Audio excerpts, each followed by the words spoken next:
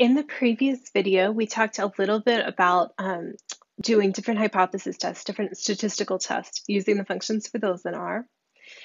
In this set of slides, we're going to get a little bit into regression modeling. And then in the next, in this one, we'll talk about um, doing linear regression. And then in the next slide, we'll talk more broadly about the framework for generalized linear regression models.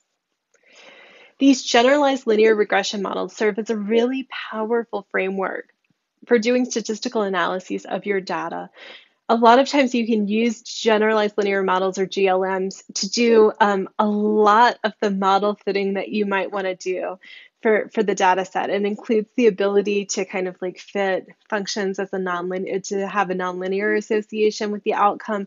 And they also have room to expand to include not just linear regression, but also if you have different kinds of output, like binary of kind of a yes, no, or a zero, one, or count data for Poisson regression, or other types of regression models. So it's a really powerful framework. And a nice thing about R is that you're really using a very similar structure to fit all of these. So once you learn those structures, you can apply it quite widely across different things like um, linear regression and logistic regression and Poisson regression. So we'll look at it as an example at the World Cup data. Again, that is in the Faraway package. And then the name of it is World Cup.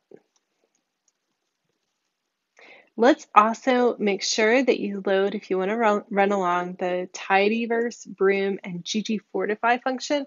And we haven't used that ggfortify before, so if you don't have it installed yet, you might need to install that package.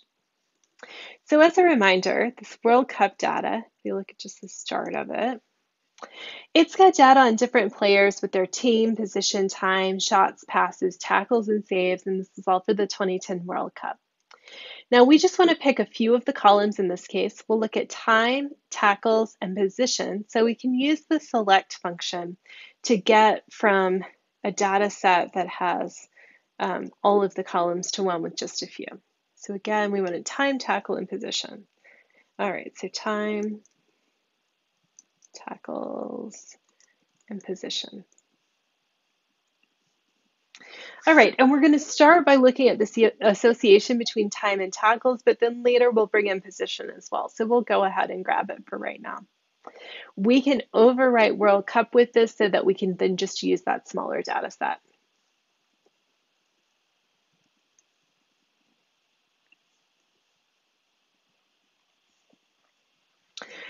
So as I mentioned, we might want to start by looking at the relationship between time and tackles. So we can start just by visualizing that to get an idea of what we expect.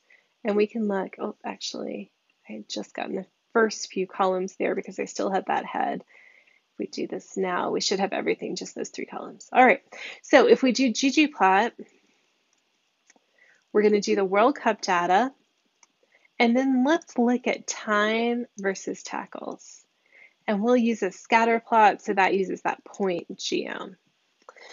And we can look, and there definitely seems to be this relationship. As we increase the time that a player played in the World Cup, there tend to be more tackles, although there is some variation around this. So there are some cases where we have people who played a really long time who have almost no tackles. And then maybe some cases on the upper edge where people had quite a lot of tackles given the amount of time they played.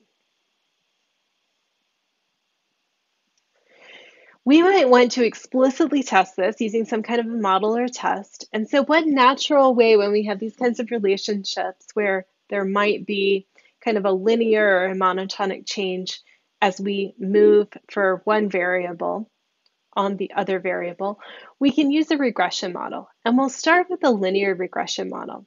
Again, we're trying to check to see if there's evidence that the expected or the mean number of tackles tends to increase or decrease, or in any way change from the average value as the player's time increases. In a little bit, we'll talk about why a linear model might not be the best way to model this. Uh, but for right now, we're going to start with doing that, and we'll look a little bit once we fit this and talk about how to interpret things. We'll look at some of the diagnostics and see where we can see evidence of where mm-hmm. maybe something else would have worked better. And then when we talk more broadly about generalized linear models, we'll talk about another model that might be more appropriate. Regression models can be used to estimate how the expected value of a dependent variable changes as an independent variable, one or more independent variables change. So in this case, we're interested in how this dependent variable of tackles, how that tends to change as we change an independent variable of time. In R, when we express this and we ask R to fit that model, we're going to use a regression formula. And for that, we'll say first what we're looking at is the response variable or the dependent variable. So in this case, that's tackles. And then we'll do this tilde sign. And then we'll say on the right-hand side of that, we'll give it one or more independent variables for which we want to see that relationship of how this dependent variable tends to change as the independent variable changes. In this case, we only have one independent variable we want to look at, that's time but we'll see some cases later where we could add up and have more than one. You'll notice that this is using that tilde to separate our response variable or dependent variable from the independent variables that we're listing. This mimics the format that we often will use when we write these down uh, using mathematical equations or equations that, that might go in a paper for your model equation. So this is giving an output variable measured on the unit i as a function of these different input variables that we have, and then with some error in addition. So we'll use this type of structure in R for a lot of different function calls, including the ones that we have for linear models and generalized linear models. So we can fit this linear model in R using the lm function. If we come over and we say the data that we want to fit, so that's World Cup, and then before that, in this call, we want to put that regression formula that we just talked about. So in this case, we want tackles as our dependent variable, and we want to see um, how that is explained by time. When we run this, we get out this printout, and, and you might notice it's a really similar idea to the printout that we get when we run some of the statistical hypothesis tests, like we did in an earlier slide. So it gives us a nice way where we can look at some information like the estimates of the coefficient. So these are for the intercept and the slope if we're doing a, a, a um, if we're doing a simple linear regression where we only have one independent variable that we're fitting. So um, the, in this case, we're kind of estimating a regression line where the intercept with the y-axis is given by this intercept value. And then the slope, the change for every one unit increase, so every one minute increase in the independent variable of time, um, for each of those, how much we expect the number of tackles to change. So we have this information as a printout, but again, it's just printed out. It's not there where we can use it more. So let's try saving this to a specific object.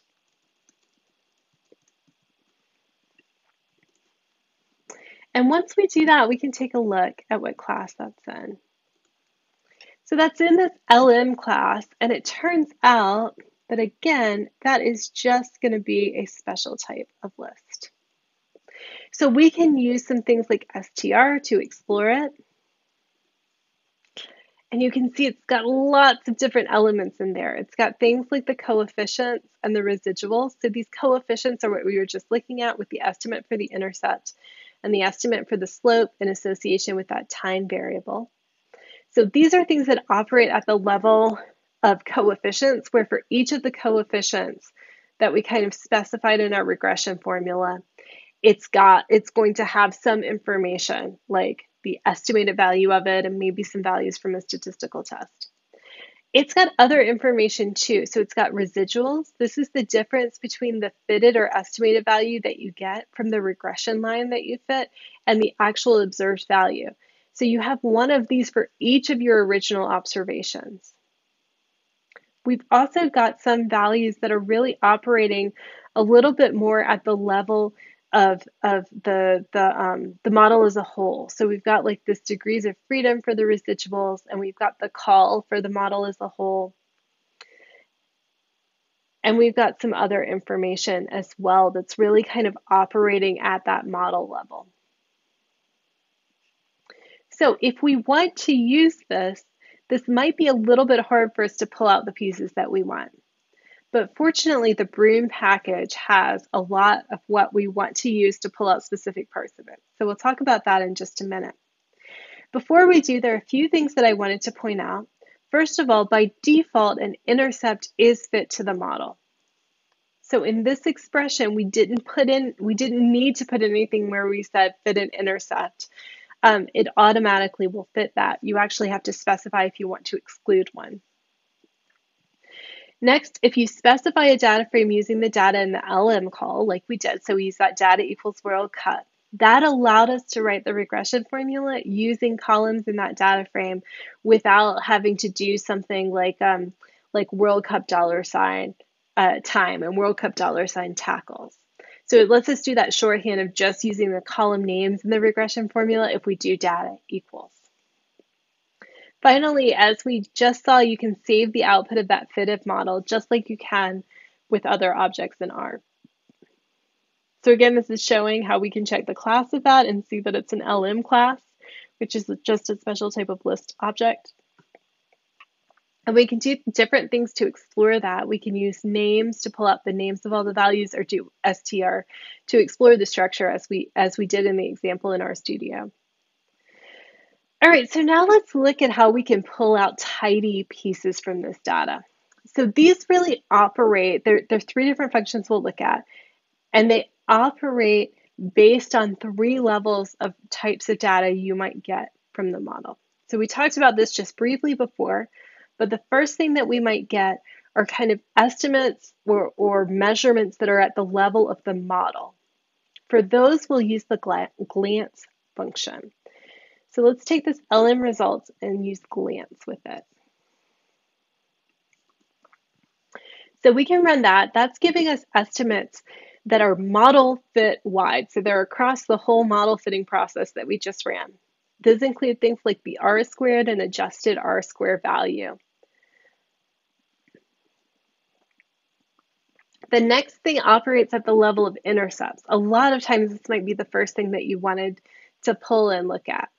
So this will, will typically have more than just one row. The glance output for a single model will tend to have just one row for the tibble because it is model wide.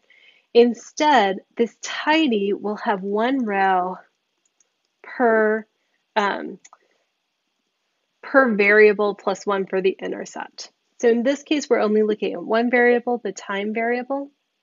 So it includes one row for time and then one row for the model intercept.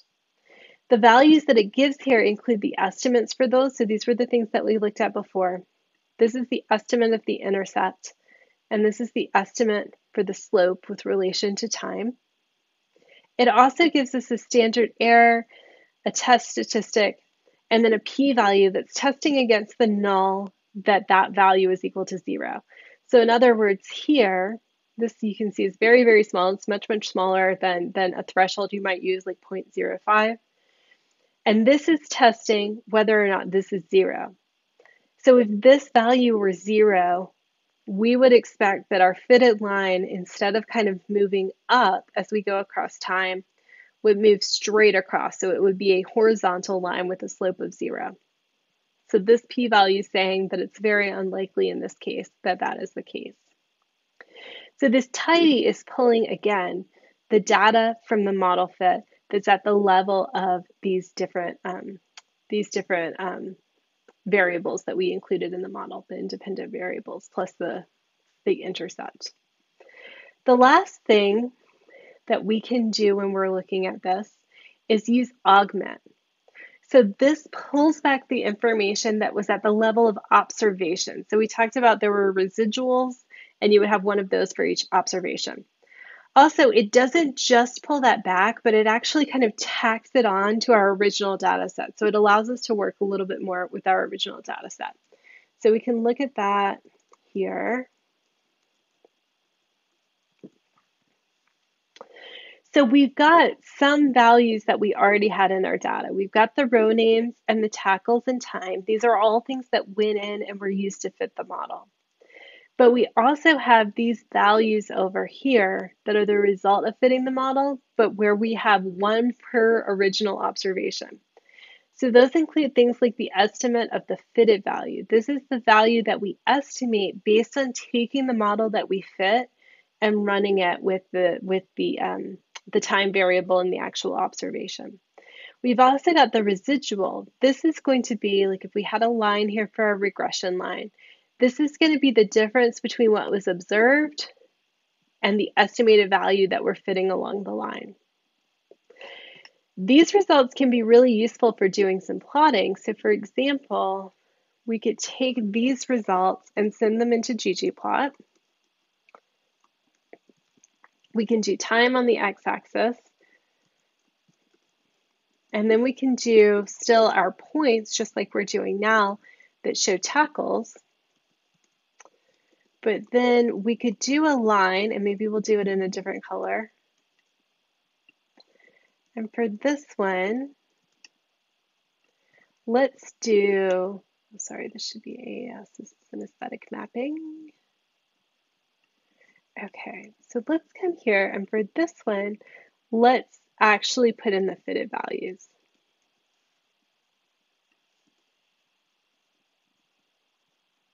Make sure I spell that correctly. All right, so now what we have is we have those original points still, but we also have a line that shows the fitted value at each point along the measured observations that we have for time. And so then our residuals are going to be how far each of those points are off of that line. This is showing how to do that one more time, and in this case, I've increased the size of it as well so it really stands out. Another thing that can be very helpful are to look at diagnostic plots based on the, the model that you just fit. These can help you pinpoint if there are areas where you might have some problems in the fit of your model or problems in the in the validity of the assumptions that you made when you fit that model. Autoplot is another one of these functions that's actually got different methods for different object classes. And you can apply it kind of generically to a lot of different object classes, and its behavior will depend on the class of the object you input to it.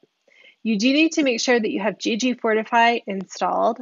Although the generic autoplot function comes with ggplot, the methods specifically for LM and GLM objects, which we'll be using here, those come in the ggfortify package.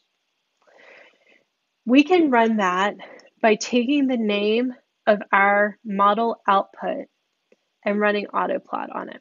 So we can come here in the example I'm doing here, I actually call these LM results. So we can do that and we can pipe it into autoplot.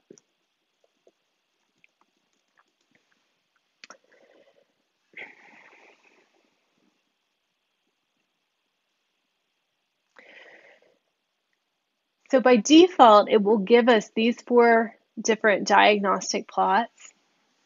And again, you should learn more about these in your statistics classes in terms of what assumptions you can check with each of them and what you should, should be looking very closely for. But we can walk through just a few that are showing that perhaps in this case, a linear model was not the best model to fit. So one is here where we look at fitted values versus residual values. So each of these points are one of the original observations, one of the players.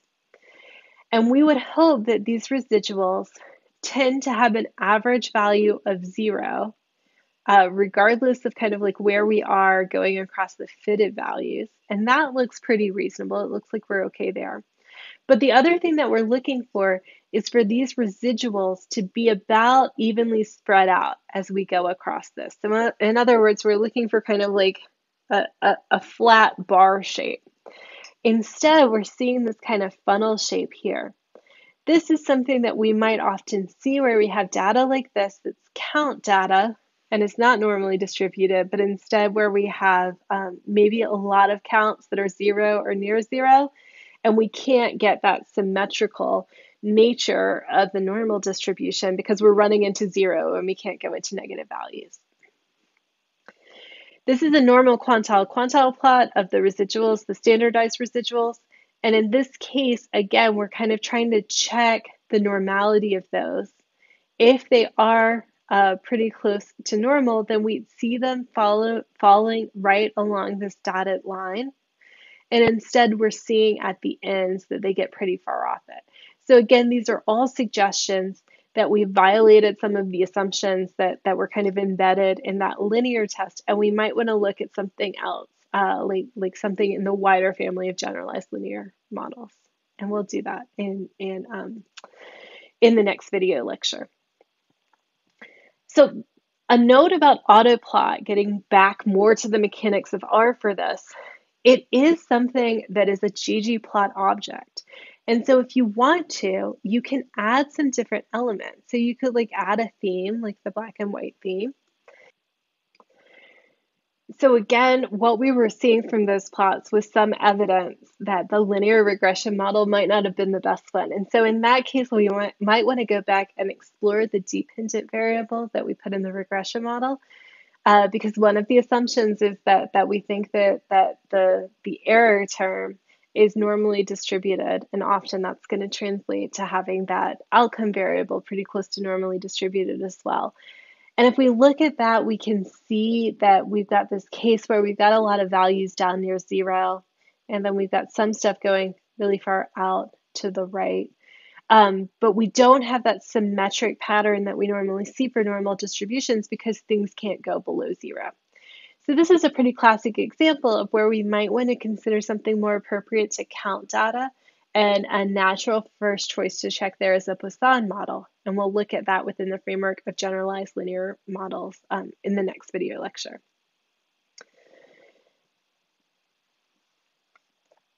So another thing that we can do is we can use binary variables, so categorical or factor variables, rather than continuous variables. We put those in in exactly the same way that we did before. So let's go back and look here. And before we were fitting a model where we looked at the association with time. This time instead, let's look at the association with position. So you can see I'm taking the name of that column, this column is position, and I'm putting it in as the same way as an independent variable on that right-hand side of the tilde. When we run this though, the output that we get is gonna be a little bit different. So if we just run the output itself, we'll see the nice printout. And you can see instead of just having one value in addition to the intercept, we actually get three. You'll get the number of categories that there are for that, for that particular um, uh, variable factor, the number of levels, minus one. And what happens is that one of the levels will serve as a reference, and then these are giving values of the average difference between people in each of these positions and that reference position. So let's look so that we can look a little bit more closely. Let's do the tidy output from this. That gives us a nice data frame where again we've got the intercept value and then we move into each of these specific positions. So you can see that we've got forward, goalkeeper, and midfielder. I think the one that's missing is defender. So defender is serving as a reference for these other groups. And that's likely been the one selected because it was the first level of the factor, which is likely because it's the first alphabetically. So now how we interpret this, the estimate for position forward is the estimate of how different the mean number of tackles are for forwards as compared with defenders, as compared with that reference group.